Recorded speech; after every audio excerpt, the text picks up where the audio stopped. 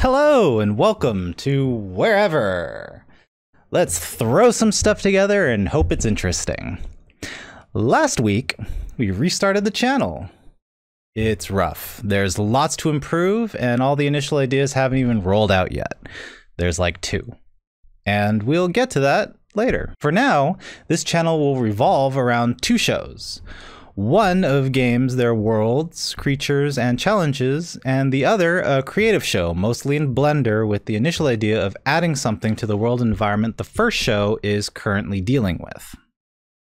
And this is the general flow of things for now.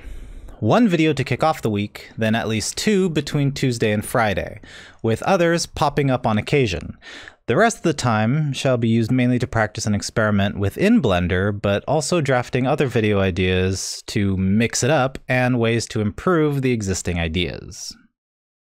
On to the distractions!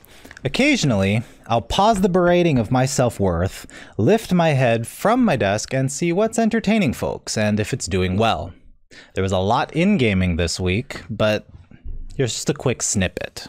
The hype train just don't stop in, uh, in Super Smash Bros. Ultimate.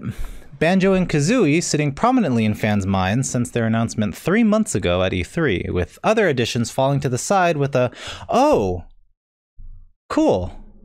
More recently, fans lost it once again with certain Mii Fighter costumes, one font in particular.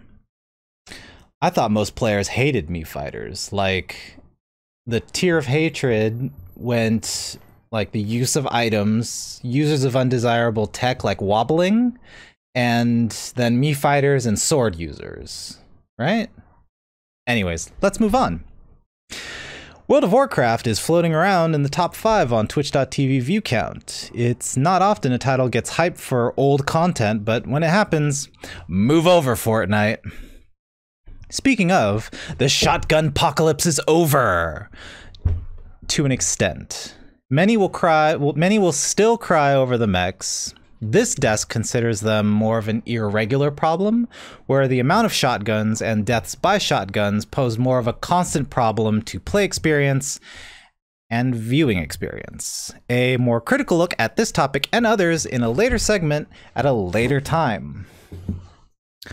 Looking forward into the week, re releases with the most excitement Spyro the Reignited trilogy finally comes to the Switch.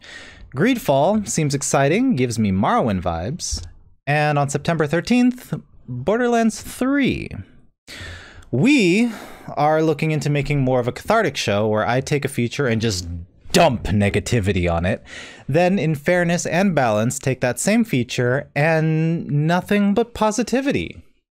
Alternating which gets posted first, topic by topic. Um, we're also looking into creating new environments to drift through. Portals are being stubborn.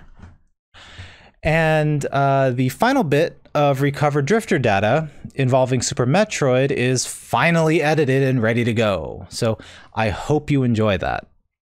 Um, it's some of my most favorite experiences with a fellow drifter. So that's it for now. Till next time, I hope you have a wonderful week, fun, not boring, and signing off.